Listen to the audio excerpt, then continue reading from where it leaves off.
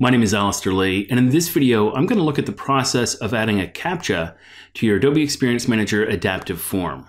There are two types of CAPTCHAs that you can add to your forms, including the built-in service offered by Adobe Experience Manager, as well as Google's reCAPTCHA service. If you'd like to include Google's reCAPTCHA service, then your best starting point is google.com slash reCAPTCHA. There you can sign up for an API key. You'll get a client secret and a client key. You'll need those to set up your cloud service. Let's take a look at that now by logging into Adobe Experience Manager. I'm going to click on the Tools icon, go to Deployment, and then Cloud Services, and scroll right to the bottom where I can see the Google reCAPTCHA cloud configurations.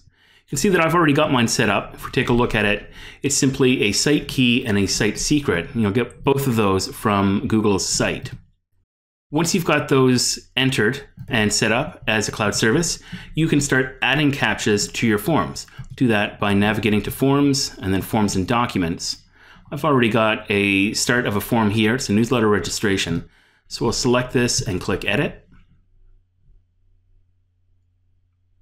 I've got my side panel open. Let's take a look at the components that I can add to my form. You can see here we've got a CAPTCHA component. I can simply drag and drop that directly onto the form itself. If I click to configure this CAPTCHA component, there are a few different options, including the CAPTCHA service that I'd like to use. Now, this is set to default, which will use the Adobe Experience Manager built-in CAPTCHA service. We'll take a look at that first. We can also select reCAPTCHA if we prefer to use Google service.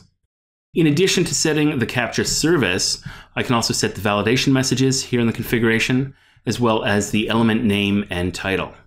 Once that's done, you can click OK if you've made any changes. And we'll take a look at this by previewing the form.